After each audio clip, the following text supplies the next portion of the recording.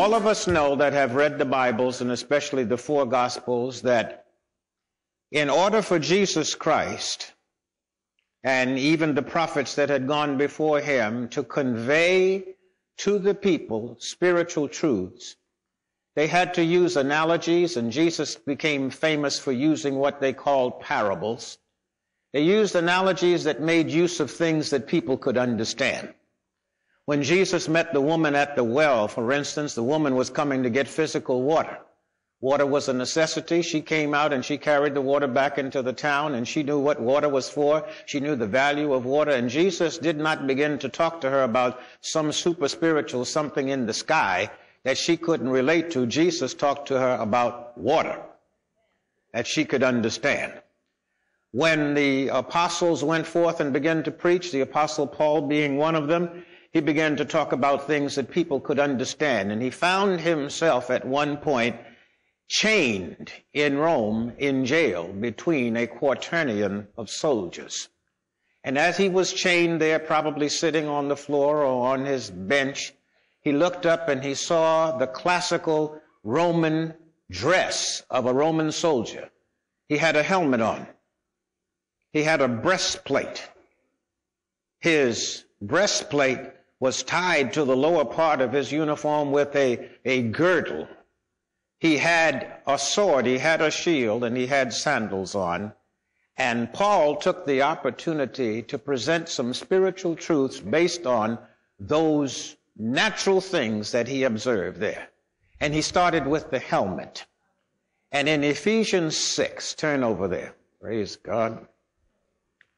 These were some things that we absolutely fed on in the early days until they became concrete truths in our hearts. As you put your finger in Ephesians 6 and go back to Ephesians 1, because I want to preface this by saying something to you. When the apostle Paul began writing to this church that had, was, had already been established at Ephesus, he opened it by greeting them, of course, and saying, grace be unto you. But the very first thing he said to them in verse three was, blessed be the God and Father of our Lord Jesus Christ, who hath, past tense, blessed us with all spiritual blessings in heavenly places. And then he began to enumerate some of the blessings. He says, according as he has chosen us in him before the foundation of the world, that we should be holy and having predestinated us unto the adoption. And he goes on down this whole 10 or more verses talking about what this church at Ephesus is, how they have been blessed, and what they have.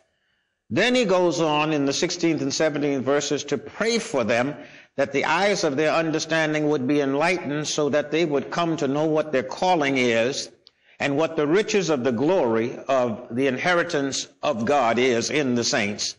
And also that they would come to understand what is his exceeding great power towards those who can believe according to the working of the mighty power, he said, which God wrought when he raised Christ from the dead and set him at his own right hand in the heavenly places. And this is the part I want you to get. Far above all principality. Let's stop right there and explain that principality, everybody say this, a principality, is an area, of dominion.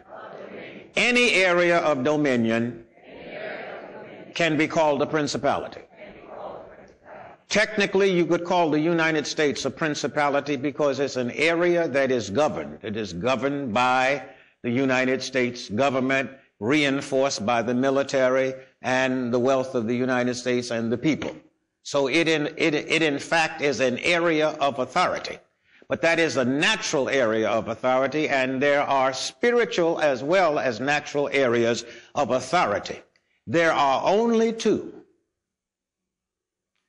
There is the holy spiritual realm of authority, and there's the unholy spiritual realm of authority.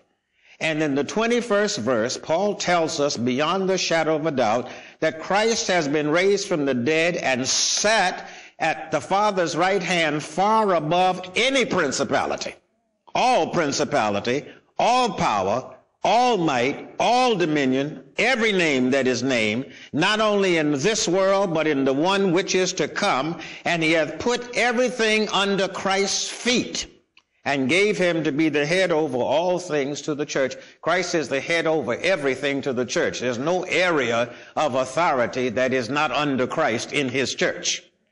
Everything comes under him. Amen. Any authority is under him. And all bishops, everybody, the Pope is under Christ. I mean, come on now.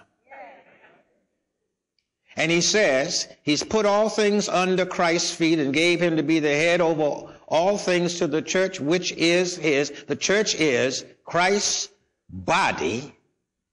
The church is the fullness of Christ. And the church fills all in all, which means the church is worldwide. It's universal. It's all over the world. Now let's go to Ephesians 6 and begin reading in verse 10. I read that to you because that's how he started his letter. And everything in between, chapters 2, 3, 4, 5, are a continuation of the apostle Paul by the Holy Spirit expanding on his message to the church and exalting Christ as the head of the church. Are you with me? In chapter 6, he begins by ta- telling the children to obey their parents, to honor their father and mother, and so on and so forth. And he gets down to verse 10 and he says, finally. What's finally mean to you? After everything else that I have said, starting from chapter 1, verse 1. Finally, my brethren, be strong in the Lord and in the power of his might. Well, we already saw in chapter 1 what his might is like, right? Be strong in the Lord and in the power of his might. And looking up at these natural soldiers, he began to make a spiritual comparison. He said, put on the whole armor, not of the Roman Empire, but of God. All right?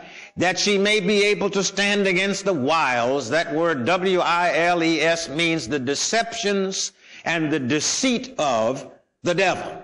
So what we know now, we don't have to read any further. We know the devil doesn't have power. He's got deceit. We know he doesn't have might. He's got trickery. So we are to put on the whole armor of God so we can stand against his trickery. For, notice this, for we wrestle not against flesh and blood, but against principalities. What is a principality? An area of authority and dominion. We wrestle against areas of authority and dominion. We wrestle against powers and against the rulers of the darkness of this world, against spiritual or wicked spirits in high or heavenly places. That's what we're up against. Wherefore, take unto you the whole armor of God that ye may be able to withstand in the evil day, and having done all, when you get finished doing everything else, stand. Stand therefore having your loins girt about with truth, not with falsehood, but with truth, not with error, but with truth not in I think so or my mama said, but with truth. And having on the breastplate of righteousness or being justified in the sight of God and your feet shod, your feet shod, having your shoes on, having your combat boots on. Your spiritual combat boots have to do with being prepared with the gospel of peace. And above all, Taking. Oh, that's an interesting way to put it. Not having. That means you've got to do something about putting the shield of faith in place. You just don't automatically have it. And taking the shield of faith wherewith ye shall be able to quench all the fiery darts of the wicked, and take the helmet of salvation and the sword of the Spirit, which is the word of God, praying always with all prayer, which means that, that there are different kinds of prayer, and supplication, that word means petition, in the Spirit, and watching there in the Spirit mean, doesn't mean just in tongues. It means whenever you pray, be in the spirit of prayer. Amen and supplication in the Spirit and watching thereunto with all perseverance and supplication or petition for all saints. And he adds a postscript, and for me, that utterance may be given unto me that I may open my mouth boldly to make known the mystery of the gospel. Now that's what you all need to be praying for Pastor Sarah and myself and anybody that ministers in the body of Christ, that boldness would be given to us that we would open our mouths boldly to declare the truth openly as we should. Now, I want you to understand, I said this during the Revelation series, that everything that happens in this world there's something spiritual behind it. It's either for good or it's for evil. There is no neutral ground. One of the reasons I'm starting this message this way is because there are people who come into the body of Christ and they're baby Christians and they've been exposed to art and they've been exposed to literature and they've been exposed to a lot of different things and they think there are a lot of things in this world that are just, you know, things I like to do, things I like to involve myself. There are no harm. Honey, I'm telling you, if it isn't lending itself towards the things of God, it's lending itself towards the devil. Now, am I advocating you're not being literate? Of course not. But what I am saying is when you go into foreign countries and you pick up all kinds of artifacts and carvings and all kinds of things that you don't know the origin of, you don't know what you're bringing back into your house. Amen? Do you understand me? That is why when you read in the writings of the apostle Paul, I think it was at Ephesus, I may be mistaken about this, where the people brought their curious artifacts and books and burned them. They brought them and burned them because they were of the devil. They talked about the devil. They enhanced the worship of the devil. And as some of you sitting right here have some things in your house that need to be, they don't need to be in the garbage where somebody else can pick it up and read it. You need to burn the thing.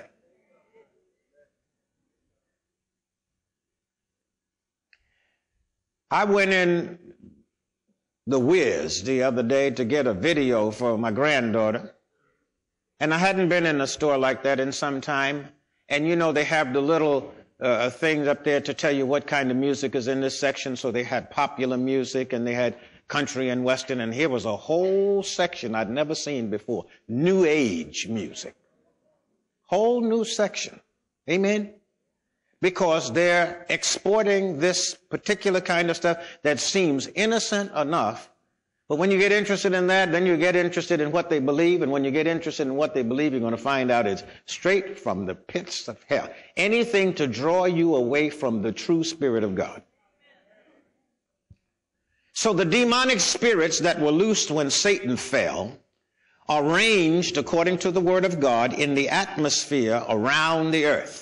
Just like we have an envelope of atmosphere, we have an envelope of spiritual power, and there are principalities or areas of authority that are, that are just like in the army. When I was in the army, there was a table of organization, and it went, we went from a squad to a company to uh, several companies in a, a battalion, I think it was, and several battalions in a, I forget it now, several battalions in a, in a, uh, well, it was a company and then a platoon and several platoons made up a company. That's the way it went. Squad, a platoon, several platoons made up a company, several companies made up uh, uh, uh, a regiment, and regiments made up a division, and divisions made up an army. And just like that level of authority moved up from the smallest unit to a, a combination of these units is the way that Ephesians was talking about Christ was placed over the principalities and the wicked spirits and the rulers. You understand? There are spiritual rulers ranged around this planet that influence the I, will give you a reference. Remember when I talked about the seven Gentile empires? Well, there were demonic spirits that were designated by Satan himself to influence these various empires. How do you know that, Pastor? Because when Daniel was in Babylon and he was praying, the angel came and said that the prince of Persia withstood him. It wasn't a man. It was a prince of demons assigned to that particular empire. And he said, if you know anything about your history, that he had to go because the prince of Grecia was coming. Well, everybody has any kind of history book at all knows that Greece came after Persia and conquered Persia. And there was a demonic prince that controlled that next nation. So these are principalities, areas of spiritual authority. You listening? All right. So these demonic spirits are, are, are, arranged around the atmosphere over the earth, and their organ, organizational structure or chain of command runs from principalities, which is areas of authority, to the rulers of the darkness of this age. And in Ephesians 6 that we just read, the whole armor of God is the power of his might. Say that.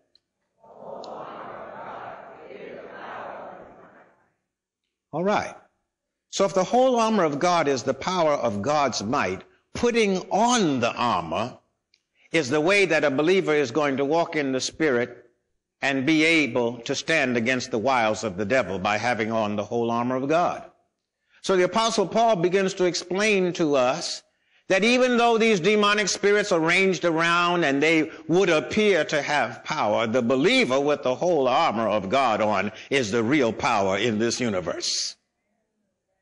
Mm-hmm. And Jesus Christ is in charge of this army. All right?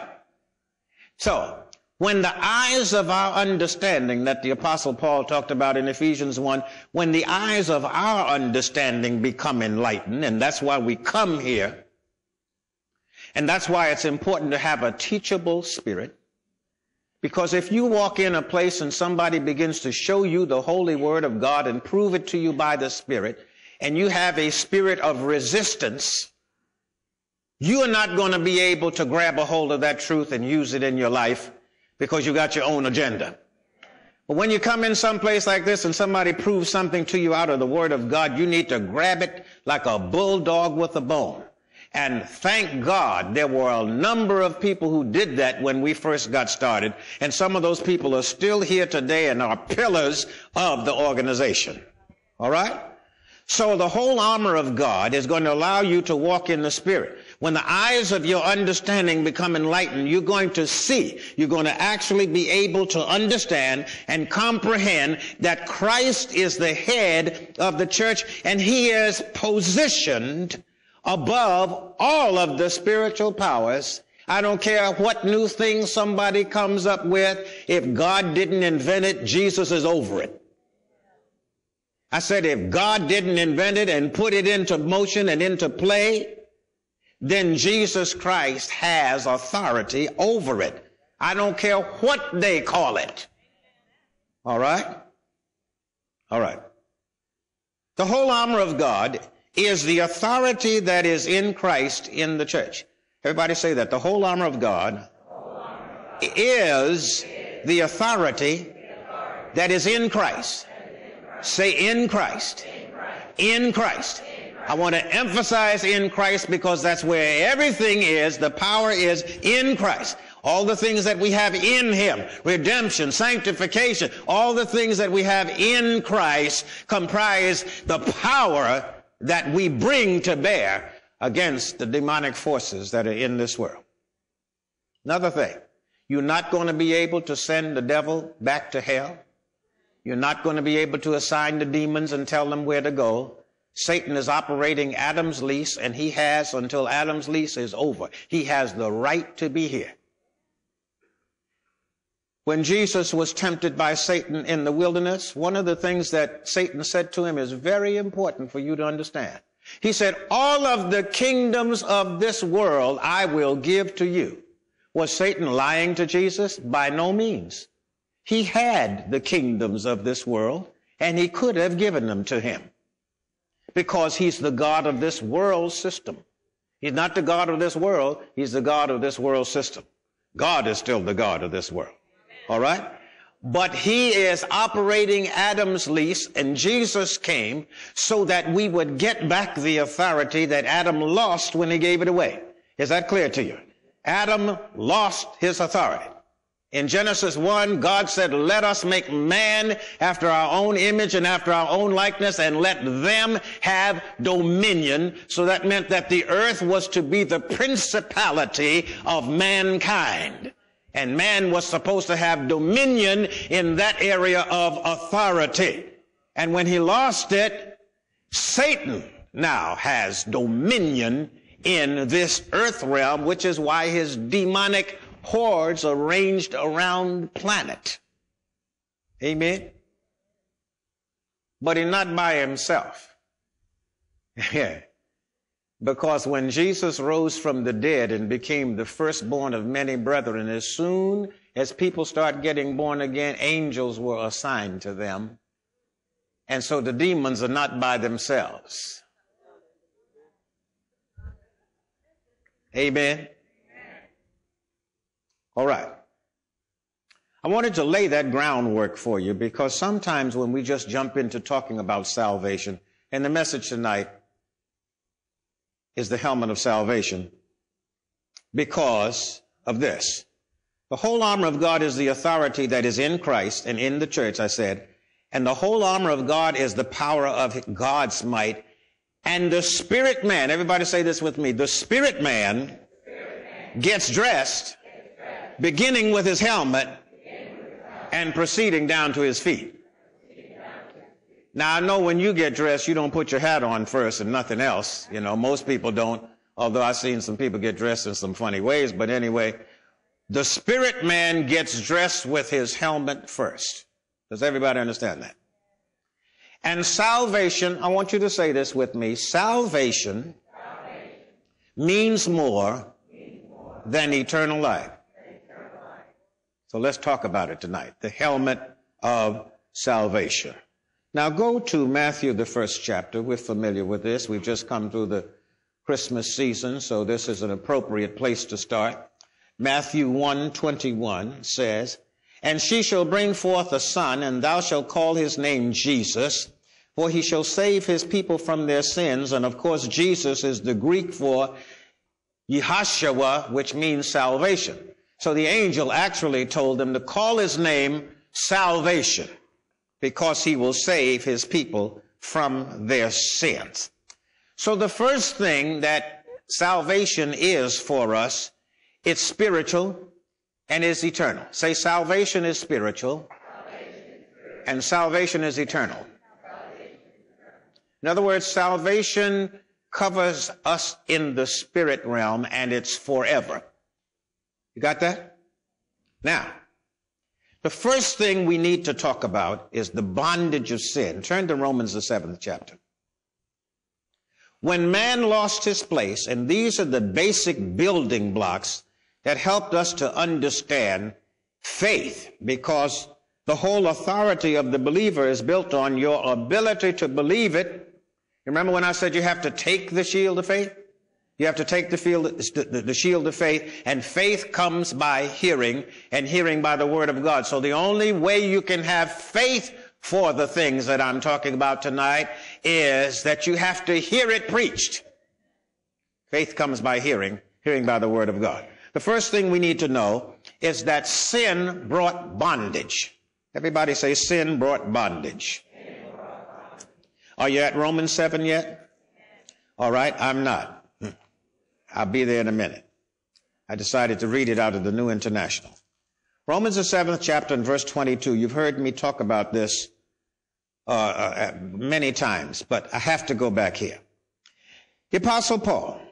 Everybody knows he was perfect, right? Ha ha ha. I said that deliberately. In verse number 14,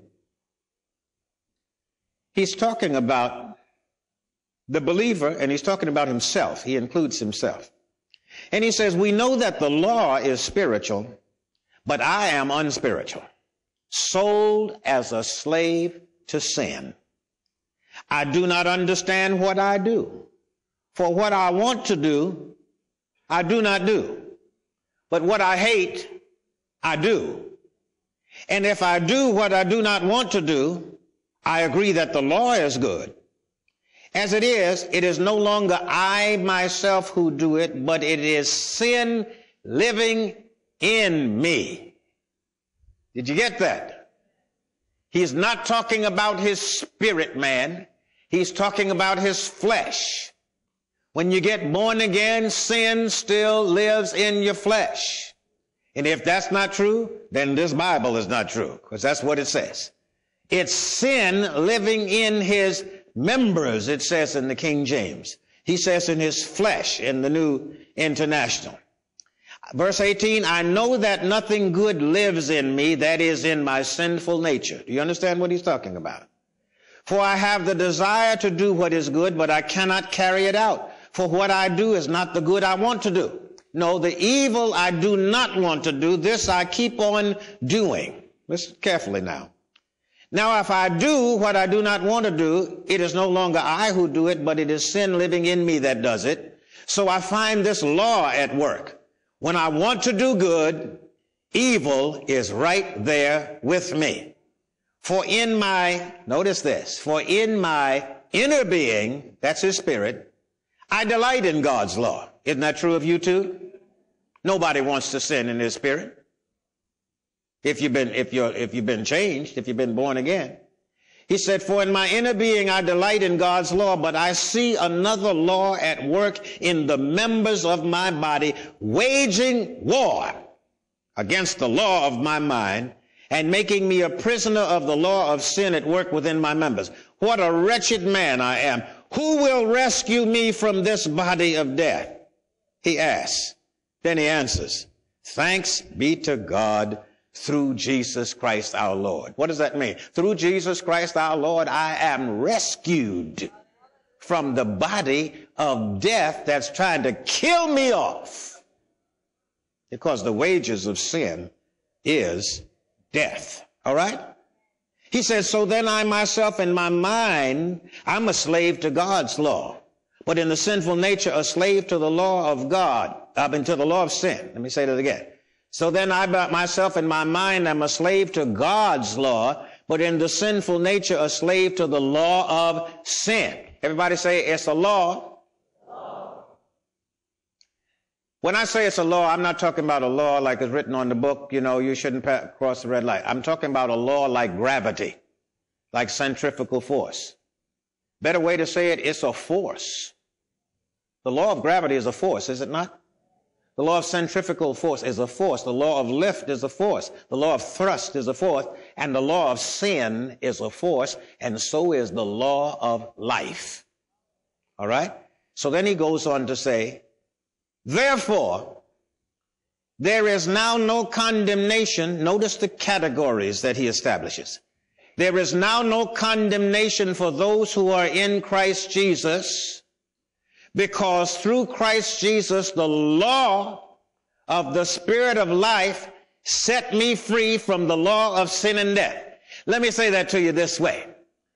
I don't have a problem flying anymore because the law of thrust has superseded the law of gravity and gotten me off the ground. Got that? So the law of the spirit of life in Christ Jesus has made me free from the law of sin and death that was trying to hold me down to this death ridden body with its appetites. The law of the spirit of life in Christ Jesus that was imparted to me when I got born again has set me free, has cut me loose from the bondage of sin that was holding me down. You got that? All right. So the effect of sin is death. And this effect can still be found in our flesh or our members. And the only one who can deliver us from this death is Christ. And in him can be found the law or the force of the spirit of life. He is life. All right. Hmm. That is so important because people don't know. I tell you how some of the elders come to me sometimes, and you know, we just generally think everybody goes to RLCC. They know all this stuff. No, they don't. People new all the time, come in and they come down for prayer. And we say, have a scripture to stand on. They don't even know where to find the scripture, much less have a scripture to stand on. Don't even know that they're supposed to be praying the word of God. Don't even know how to pray. So we have to build the basic blocks of Christianity into the person. Christ has to be formed in us. Christ doesn't automatically be grown up in us just because we got born again. That is a starting point. We are babes in Christ. And we'll stay babes if Christ isn't formed in us. A baby Christian could be saved 40 years. That's why in some of those churches we came out and people say, I've been in the way 40 years, and that was their problem. They've been in the way, they need to get out of the way let somebody else do something that wanted to do something. All right? I know I've, I've been in those kind of places. But go back with me to Romans, the fifth chapter.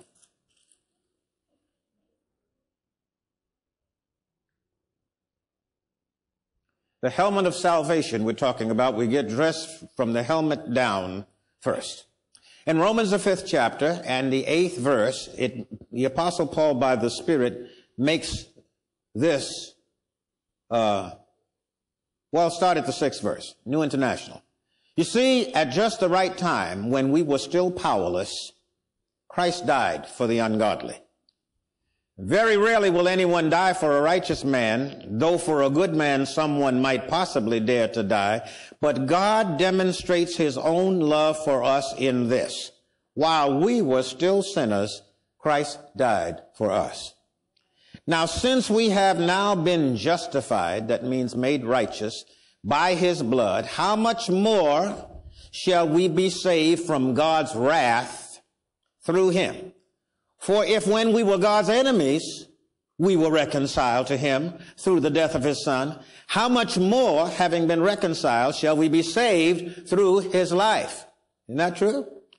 Not only is this so, but we also rejoice in God through our Lord Jesus Christ, through whom we have now received reconciliation. Verse 12. Therefore, just as sin entered the world through one man, and death through sin, who was that one man? Say it loud.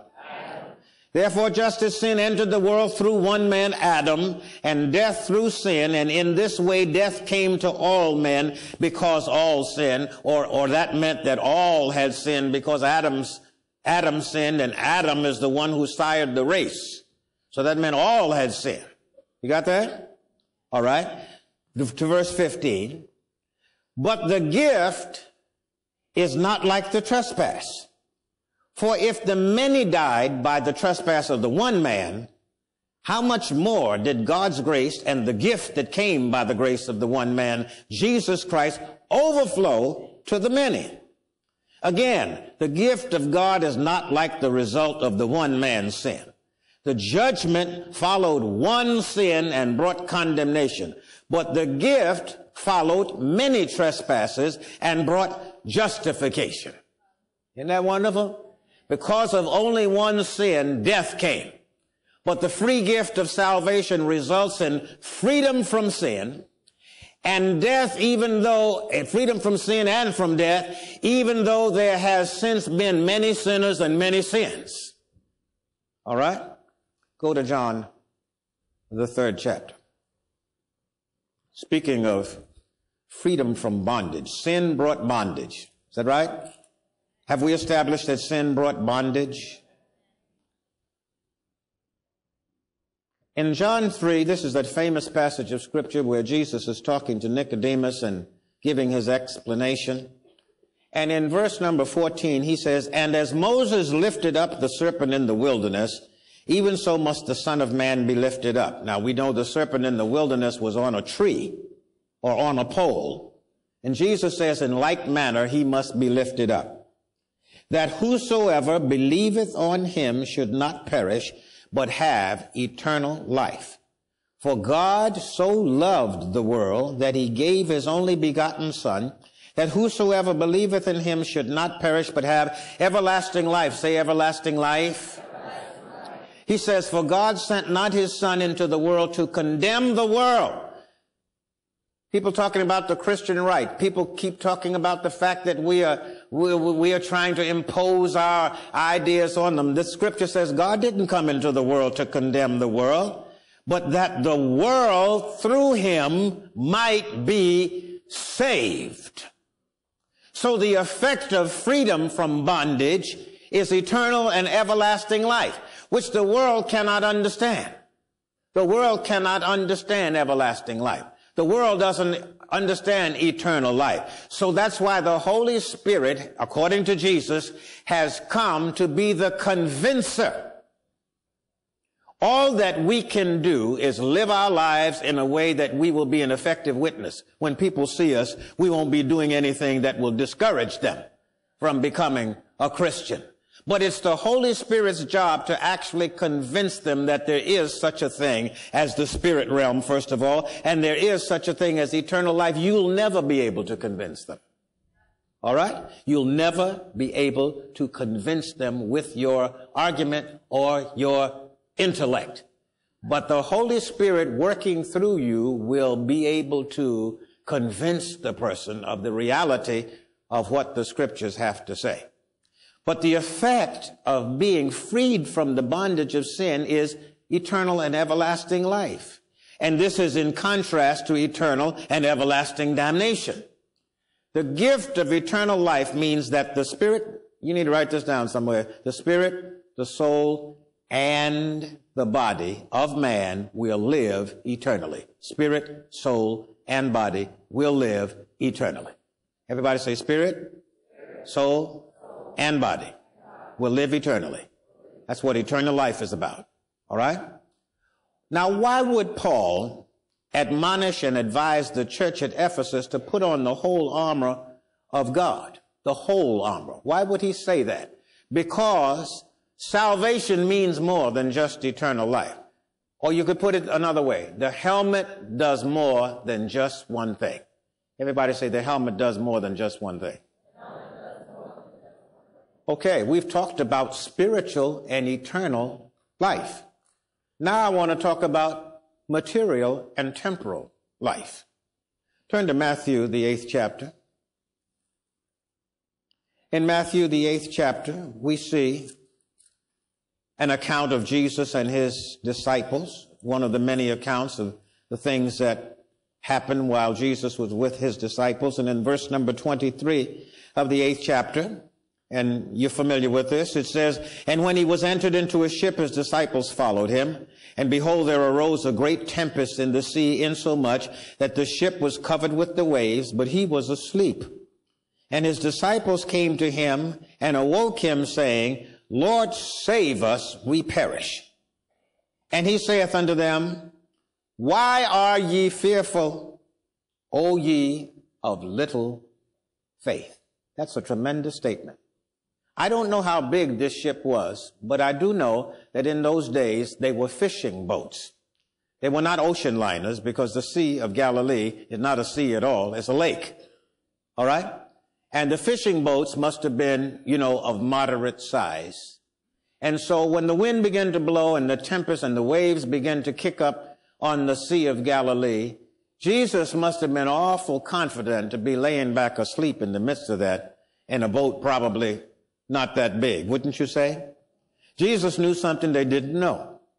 And when they woke him and, and, and, and uh, displayed a natural sense of fear, what did he say to them?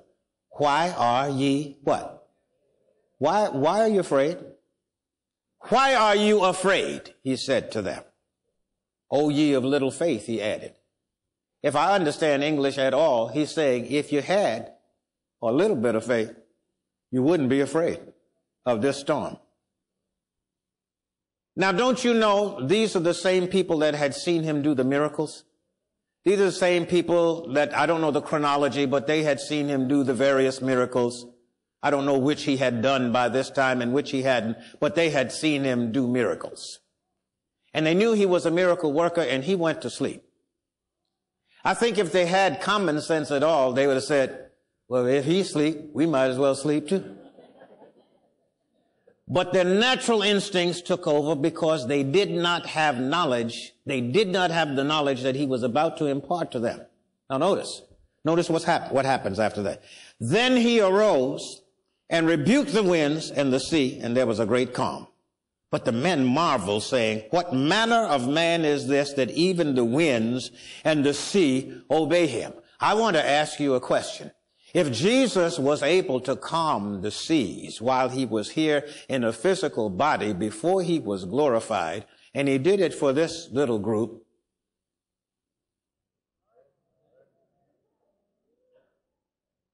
do you think he is disposed to protect those of us who are ministering the gospel of the kingdom of God all over the world in 1994?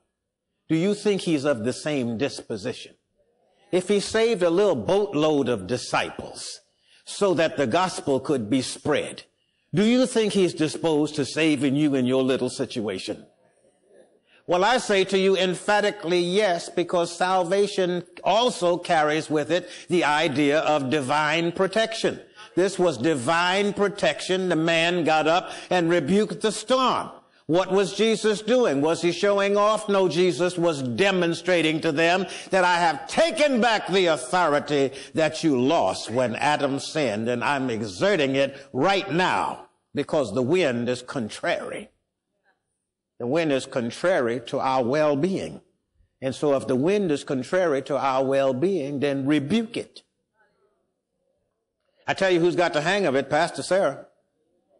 Every time we have a storm that's going to inter- interrupt uh, the, the service or, or, or, maybe cause the attendance. And, and by the way, when we pray that people will come so the attendance will be good, doesn't have anything to do with the offerings.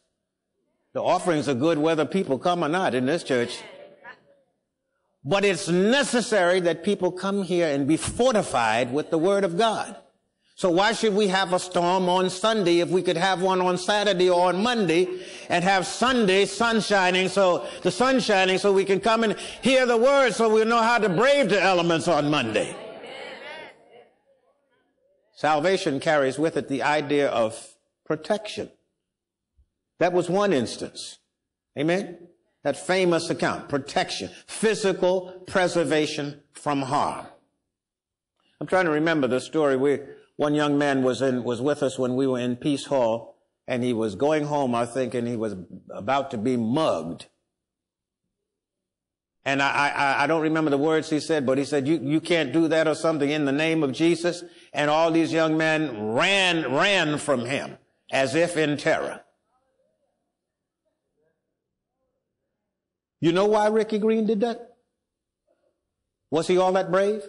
No. We had been preaching in those days that the angel of the Lord encamps around those that fear him. And Ricky Green simply got a hold of that truth and took the shield of faith. Didn't wait for somebody to give him the shield of faith, but took the shield of faith and declared and believed that the name of Jesus was superior to any other force or principality or area of authority. So he took authority of that corner in Teaneck that night. And they had to leave. Now, why am I preaching it to you? Because you are walking back and forth through all kinds, much more dangerous situations, perhaps, than even he encountered that night. Going back and forth. Well, just read the papers. I mean, guy, guy burns his own self up on the subway, getting ready to burn other, and, and, and, and 40 some people with him. Another guy shoots up the Long Island Railroad. You can't go anywhere today and depend on your own ability to protect yourself or the police or anybody else. You better have faith in the helmet of salvation to protect you from physical harm. Amen.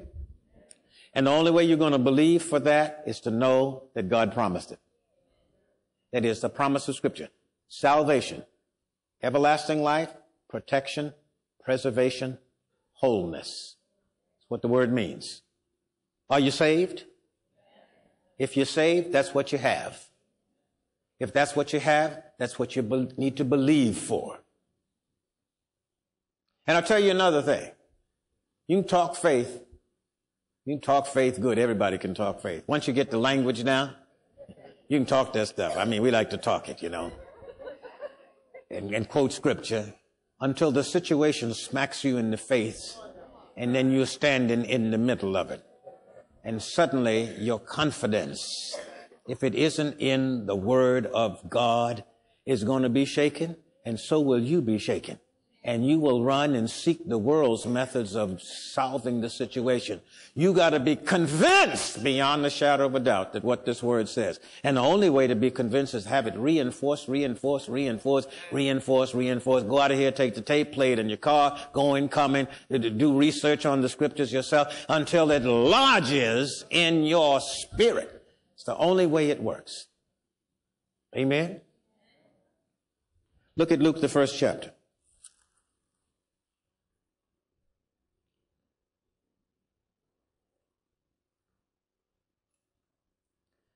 In Luke, the first chapter, Zacharias, the father of John the Baptist, prophesied.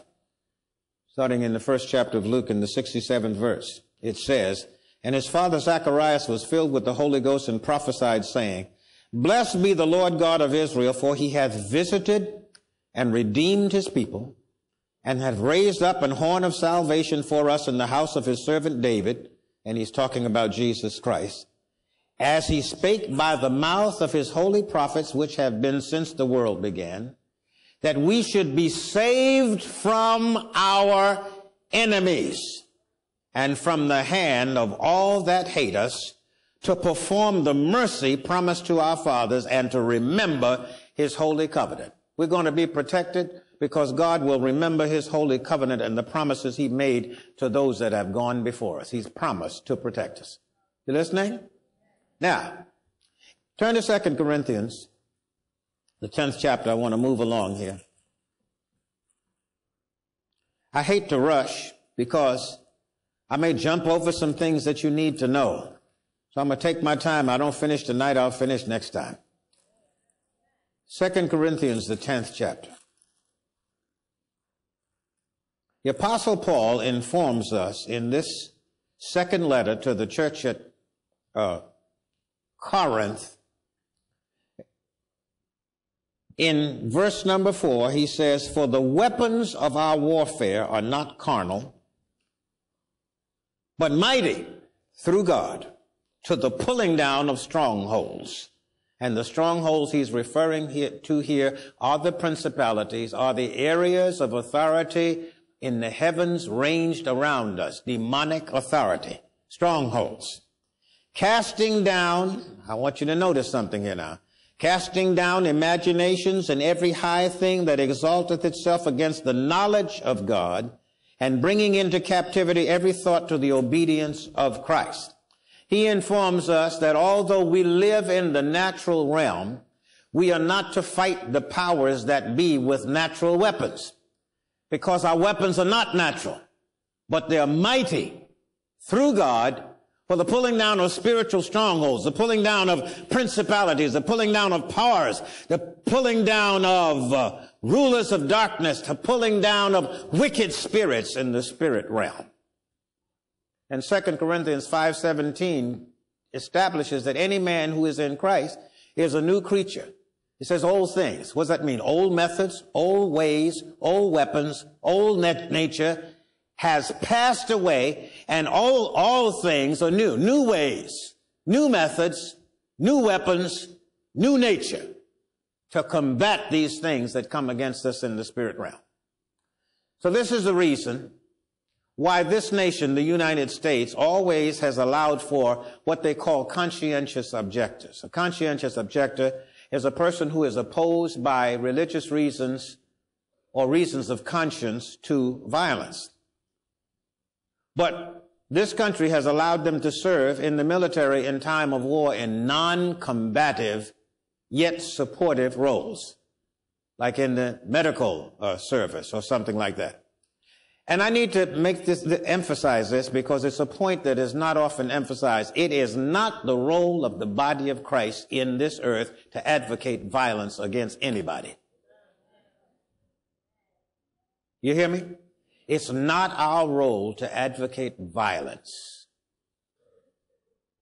In the Persian Gulf War, it was true that Hussein deserved everything he got, but it was not the position of the church You listening? It was not the position of the church to demand that they go in there and do away with him. How do you know that somebody might not get to him one day and get him saved? And you just ordered his demise. You listening? Something you need to think about. What does John 3.16 say? God so loved the United States and the Western powers and everybody that agrees politically with us. He said, God so loved the world. If God so loves the world, we haven't got it, no business ordering their physical demise. I'm talking about the body of Christ. I'm not talking about the government. When you're a government official, you have to do what the official policy of your government is to protect your country. All right?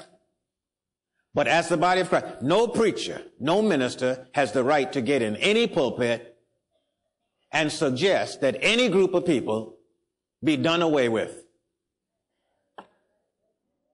We have the responsibility to get in the pulpit and, and encourage believers to pray. Pray for Hussein, pray for Zhirinovsky over there in Russia, pray for anybody else you can think of that, you know, is a, is a terrible person and is advocating, you know, whatever. Pray for the people in Bosnia and Herzegovina or whatever the place is over there, killing each other with, with ethnic. Pray for them. They are souls that need to be saved.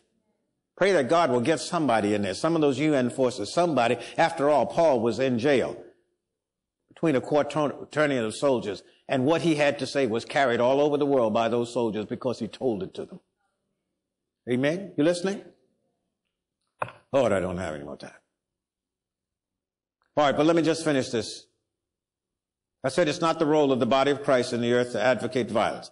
The body of Christ, with the knowledge of the spiritual arsenal and faith, can grow up to, into the realization that we have more power than that of tanks and missiles and guns. And I'll, I'll leave you with this statement. We must obey all government authority until that authority attempts to supersede the authority of God. And then that's when we obey God. All right? And one other thing. I've got five minutes.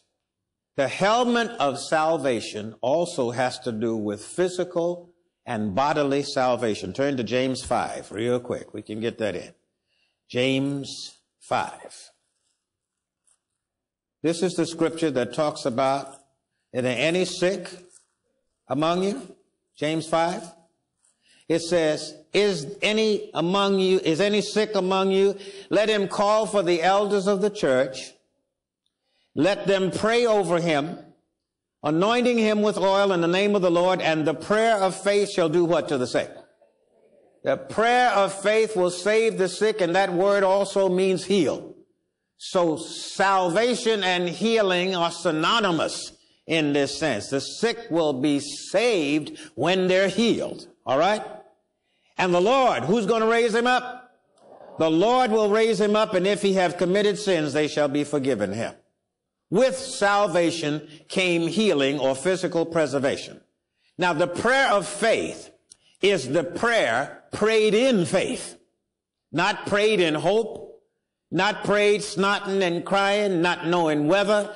The prayer of faith is a prayer, absolutely confident prayer prayed according to the word of God in the situation. It's not your responsibility to heal the person. It's your responsibility to pray in faith. And I'll tell you something else. If they die, your best bet is to say next and pray for the next person in faith, believing that they will be healed because it's not our responsibility to heal them. It's God's responsibility. And if God chooses not to, we, he, maybe we'll find out by and by and after a while and maybe we won't. But our responsibility is still to continue to pray in faith because it's what the word requires of us and not to ask why and get all discouraged because, well, so and so and so and so. Serena didn't make it. So what if Serena didn't make it? Serena is home with Jesus, where we're all going to wind up. Why didn't she get here? I don't know. Don't ask me. But the next prayer I pray is going to be a prayer believing that God will do what he said he will do in the same circumstance. For the same condition. Amen. Hallelujah. Glory to God. The prayer of faith is the prayer prayed in faith based on a promise in scripture. In this verse, the sick are advised to call the elders of the church, not to stay home and pout. The elders of the church will pray, the prayer of faith. The elders of the church will anoint them with oil in the name of the Lord, and it is the Lord that will raise them up when the prayer is prayed in faith. And also, we also learn that the elders are not the only one that can pray the prayer of faith. The one who's sick can pray the prayer of faith. That's why we send tapes to people. That's why we, if they can't read, they can listen. Amen. If they're, if they're able to sit up and read, we give them something to read and don't let unbelieving people in, get, go in there and talk all that un, unbelieving, stupid stuff to them about they don't look good. Neither do you most of the time. At least they're sick. What's your excuse?